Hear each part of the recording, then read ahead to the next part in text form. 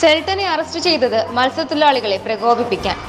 സമരസ്ഥലത്ത് സംഘർഷമുണ്ടായ ഇരുപത്തിയാറാം തീയതി ശനിയാഴ്ച സെൽട്ടൺ രാവിലെ പത്ത് മണിവരെ മാത്രമേ സമരപ്പന്തലിൽ ഉണ്ടായിരുന്നുള്ളൂ. അതിനുശേഷം സെൽട്ടന്റെ ഉടമസ്ഥതയിലുള്ള വള്ളം കടലിൽ മറിഞ്ഞെന്ന ഫോൺ സന്ദേശം ലഭിച്ചതിനനുസരിച്ച് സ്ഥലം കൗൺസിലർ പനിയടിമയുമായി ചേർന്ന് കോസ്റ്റൽ പോലീസിൽ പോയി പരാതി നൽകുകയും മറിഞ്ഞ വള്ളത്തിലുണ്ടായിരുന്ന മത്സ്യത്തൊഴിലാളികളെയും വള്ളവും എഞ്ചിനും കരയിലേക്ക് കൊണ്ടുവരുന്നതിന് കടലിലേക്ക് പോവുകയും ചെയ്തു. കോസ്റ്റൽ പോലീസ് സ്റ്റേഷനിലെ സി സി ടി വി ദൃശ്യങ്ങൾ പരിശോധിച്ചാൽ ഇതിന് തെളിവുകൾ ലഭിക്കും. ഒപ്പം മൊബൈൽ ടവർ ലൊക്കേഷൻ കൗൺസിലറുടെ മൊബൈൽ ടവർ ലൊക്കേഷൻ എന്നിവയൊക്കെ പരിശോധിച്ചാൽ വളരെ വ്യക്തമായി മനസ്സിലാക്കാവുന്ന വസ്തുതയെ മറച്ചുവെച്ചുകൊണ്ടാണ് സെൽട്ടനെ ആസൂത്രിതമായി അറസ്റ്റ് ചെയ്ത് റിമാൻഡ് ചെയ്തിരിക്കുന്നത്. മത്സ്യത്തൊഴിലാളികളെ പ്രകോപിതരാക്കുന്നതിനാണ് സെൽട്ടനെ പിടിച്ചുകൊണ്ടുപോയതെന്ന് ഇതിലൂടെ വ്യക്തം.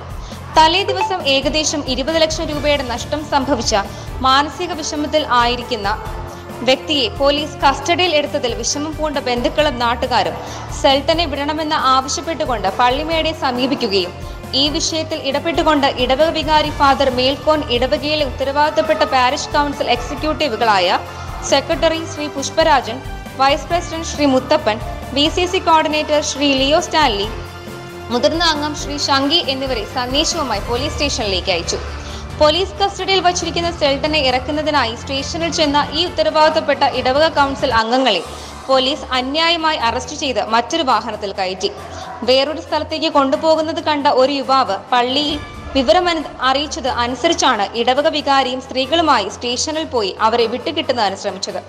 വൈദികരെയും മത്സ്യത്തൊഴിലാളികളെയും സ്ത്രീകളെയും വയസ്സായവരെയും ഒക്കെ വളരെ മൃഗീയമായി തല്ലിച്ചോദിച്ച് ധാരാളം ഗ്രനേഡുകളും റിയേറ്റർ ഗ്ലാസുകളും കല്ലേറും ഉപയോഗിച്ച പോലീസ് നടപടികളെക്കുറിച്ച് ഒരു മാധ്യമങ്ങളും ഇതുവരെ റിപ്പോർട്ട് ചെയ്തിട്ടില്ല എന്നതാണ് വാസ്തവം.